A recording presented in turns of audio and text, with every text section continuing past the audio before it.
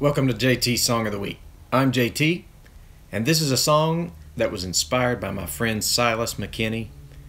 He made up this story to scare his siblings, I believe, and this is called The HarmBunny.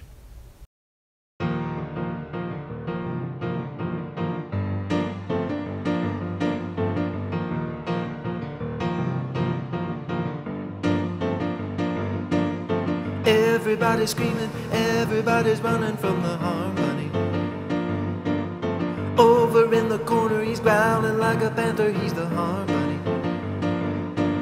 He will look at you and grin, and you know you'll never win. He's got poison in his paws, Satan in his claws. He will beat you in a race, he would like to scratch your face. He's a demon on the prowl.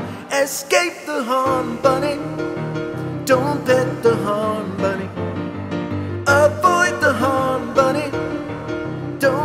the HarmBunny.